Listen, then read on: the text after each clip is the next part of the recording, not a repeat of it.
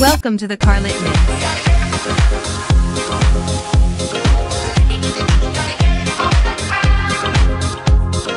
Hello everyone, welcome to Talk to You.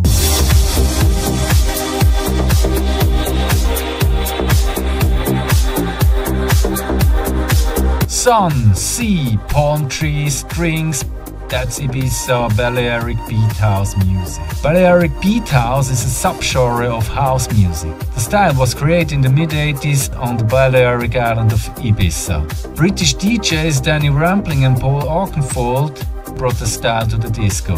In 1988, Balearic House first reached the USA. The Balearic House is a mixture of Italo House and Deep House. It reaches a maximum of 120 BPM. If that's a slow for you, take a Balearic trance. It's a lot faster. The harmony with the nature of the island is something very special. You hear birds and the sea and see the sunset. The singing is slow and harmonious. Acoustic guitar and a touch of Latin American music. Landscape sounds from the synthesizer, of course. Thank you for intentions. I hope you like it. Until the next topic.